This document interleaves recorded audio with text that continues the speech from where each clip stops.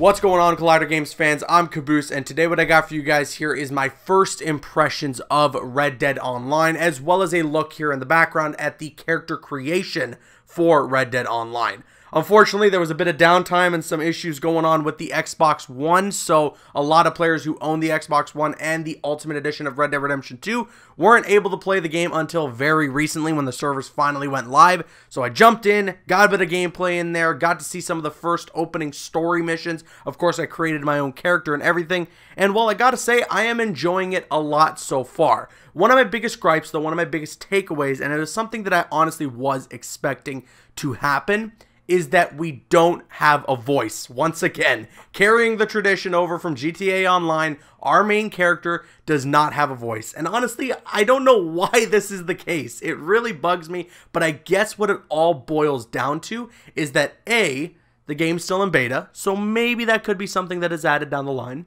And B, with Red Dead Online, if they're going to be handling this very similar to what they did with GTA Online, there are going to be a ton of content updates for the game. So there's only so much that can bring in a group of voice actors to do for Red Dead Online. So that I understand. I'll let it slide. It still is a little annoying. It would have been cool if in the character creation we could have just had a bunch of different voice selections to choose from. I honestly wouldn't mind if my character just spoke just a little bit, you know, one word answers. I'm fine with that. It just, for me, is so awkward when you're going through cutscenes and people are just talking to you nonstop and you're just nodding, you know, you're just nodding the whole time. So that's my biggest takeaway. That's my biggest gripe.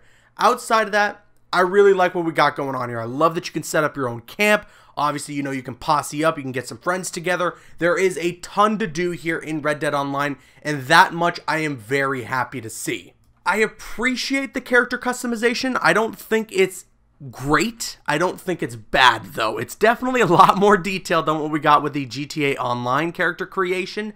However, I feel like there still could have been more options there. There was a lot of things where I was customizing my character where I was like, man, I really only have like three or four options here, especially with the hair customization. There really wasn't much presented to me, but granted, that's probably because when I go to a barber in the open world, then I can be able to customize my hair a little bit more. But of course, then you got to spend some of that in-game money to do so, and you got to earn that in-game money in order to spend it. So it is a little unfortunate that just right off the bat, I didn't have too many options available to me, but it is what it is. Like I said, at least at least it's a little more detailed than the character creation we got in GTA Online. I know that's not saying much, but it's something.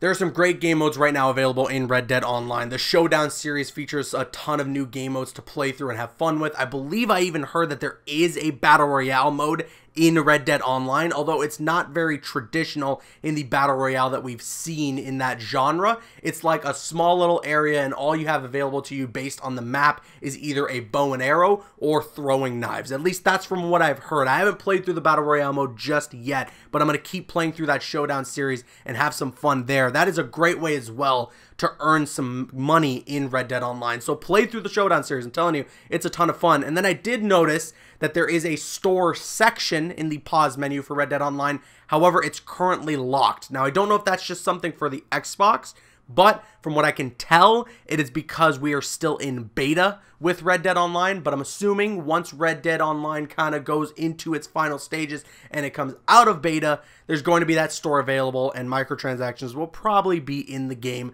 so that you can buy some more in-game money so that you can kind of get ahead a little bit easier. Now, granted, I'm probably not going to be doing that. The only thing that I'm hoping for here, though, with Red Dead Online, and so far it seems good, is that it's not going to get me to a point like I did with GTA Online where I was like, well, all the really cool stuff just costs a billion dollars and it's really difficult to earn a lot of money by just playing through missions.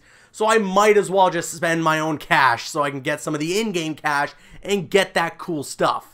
With the little game time that I have right now in Red Dead Online, it doesn't seem like I'm getting to that point, but jury is still out. I'm going to put in a lot more hours into Red Dead Online and then we'll see if this is just GTA Online all over again. But if we're talking first impressions, so far so good. I am enjoying the hell out of Red Dead Online, and now all that I have left to do is to get a group of friends going, get some of the Collider Games crew online, and posse up and jump into the world together as a gang and enjoy Red Dead Online as an experience with some friends. But that's it. That's my thoughts, my first impressions so far on Red Dead Online. And now we kick it to you guys. Have you had your chance to play it yet? And if so, what did you think about it? And of course, if you don't have it available to you just yet, take in mind that today it was available only for people who owned the Ultimate Edition of Red Dead Redemption 2. Then tomorrow and Thursday, it will be available for those who played it within the first launch weekend of Red Dead Redemption 2. And then this week, Friday, Red Dead Online will become available for everyone. But again, let us know your thoughts in the comment section below. And if you enjoyed this video, a like rating would be appreciated. And then you can subscribe to the Collider Games channel for more Red Dead Online coverage and all gaming coverage. I've been Caboose, and I'll see you guys later.